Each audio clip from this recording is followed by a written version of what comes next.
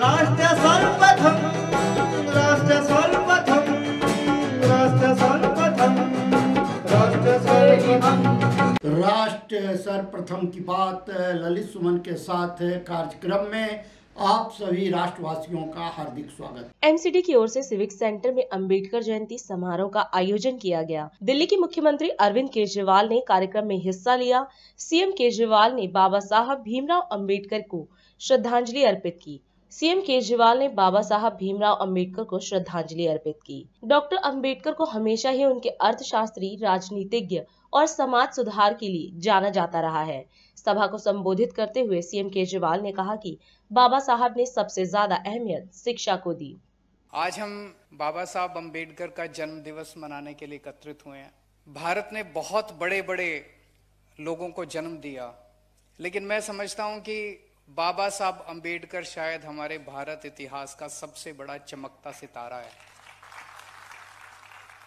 उनके जीवन को आप जितना पढ़ो, उतना लगता है कि यार ये कैसे हो सकता है? ऐसा आदमी कैसे हो सकता है? जो आदमी एक मामूली से मध्य प्रदेश के गाँव में, इतनी गरीबी में, इतने छुआछूत से निकल के भारत का लॉ मिनिस्टर बनता है और दुनिया का सबसे बेहतरीन संविधान लिखता है। ये सफ़र कोई आदमी कैसे तय कर सकता है? और उनके जीवन के संघर्ष को मैं जितना, जितनी बार पढ़ता हूँ, उतना मुझे यकीन नहीं होता कि ऐसा व्यक्ति भी कभी इस देश के अंदर पैदा हुआ था और उसने इतना कुछ हासिल किया। और 1913 में कोलंबिया यूनिवर्सिटी पहुँच गए।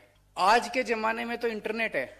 आप अभी गूगल मारोगे तो आपको पता चल जाएगा कि कोई कोलंबिया यूनिवर्सिटी भी है। वो कोलंबिया यूनिवर्सिटी पहुँच गए पढ़ने के लिए, वहाँ से उन्होंने पीएचडी करी। और फिर 1915 में वो लंदन स्कूल ऑफ़ इकोनॉमिक्स पहुँच गए।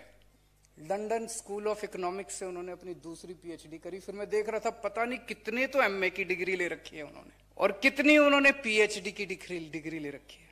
और फिर उन्होंने वकालत कहाँ से करी? दुनिया के सबसे बेहतरीन वकील ग्रेज इन से निकलते हैं, वहाँ से वो वकालत करके आए ऐसे ही थोड़ी दुनिया उनकी दीवानी हो रही है। है कि नहीं है? उस व्यक्ति ने हमारे देश का संविधान लिखा। बहुत ही खूबसूरत संविधान लिखा, उसमें सारी चीज़ें उन्होंने डाली। सबसे ज़्यादा तवज्जो उन्होंने शिक्षा को दी। बार बार बार बार उनकी जितनी भी टीचिंग्स हैं, उनकी जितनी भी राइटिंग्स हैं, उनको जितनी बार आप पढ़ो, हर जगह वो यही एक संदेश देते हैं कि अगर हमें अपने समाज को आगे बढ़ाना है अगर हमें अपनी गरीबी दूर करनी है, अगर समानता का अधिकार सबको देना है तो एक ही चीज़ कर सकती है, वो है शिक्षा। जब से मैं राजनीति में आया हूँ, दिल्ली के अंदर हमने सरकार संभाली है, ये चीज़ मैंने भी महसूस करी है कि शिक्षा किसी भी परिवार को पूरी तरह से बदलने के लिए कितना बड़ा रोल अदा करती है। राजनीति में आने के पहले मैं एनजीओ चलाया करता था सुंदर नगरी की झुग्गियों के अंदर हम लोग काम किया करते थे, मैं और मनीष सिसोदिया जी। वहाँ हम देखते थे, सरकारी स्कूलों का इतना ज़्यादा बुरा हाल होता था। एक गरीब आदमी अपने बच्चे को भेजता था, साल दो साल भेजने के बाद देखता था, यार, पढ़ाई लिखाई तो कुछ है नहीं, टाइम बर्बाद कर रहा उसको कहता था, धंधे में लग जा।